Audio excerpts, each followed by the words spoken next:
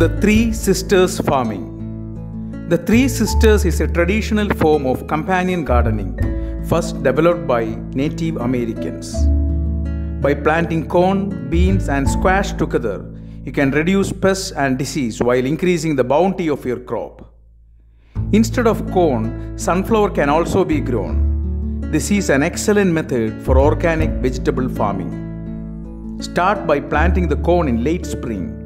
After a few weeks, follow with beans and squash. In a technique known as companion planting, the three crops are planted close together. Flat topped mounds of soil are built for each cluster of crops. Each mound is about 30 cm 12 inch high and 50 cm 20 inch wide, and several maize seeds are planted close together in the center of each mound. The three crops benefit from each other. The maize provides a structure for the beans to climb, eliminating the need for poles. The beans provide the nitrogen to the soil that the other plants use, and the squash spreads along the ground, blocking the sunlight, helping prevent the establishment of weeds. The squash leaves also act as a living mulch, creating a microclimate to retain moisture in the soil.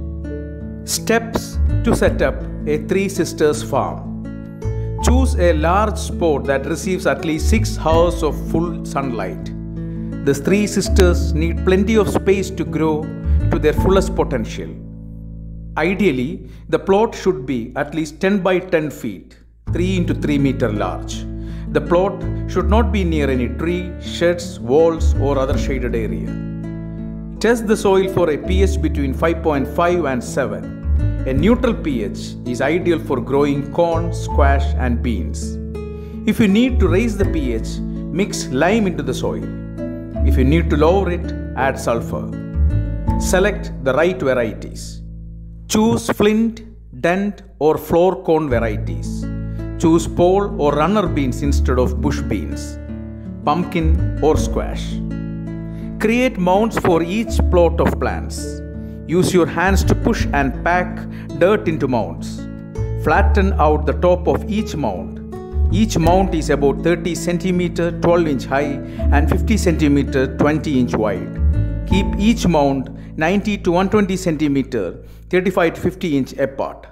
When you plant the vegetables, corn will grow in the mound with beans around the corn and squash around the beans. Fertilize the soil with traditional or organic fertilizers.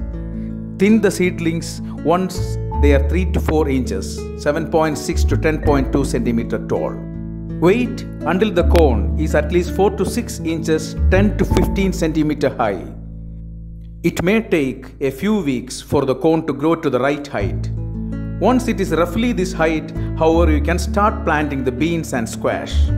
Plant 4 bean seeds evenly spaced around each stack of corn. Plant the beans in a circle around the corn. Keep each bean seed evenly spaced about 6 inches 15 centimeter away from the corn. Plant 6 squash seeds when the beans have sprouted.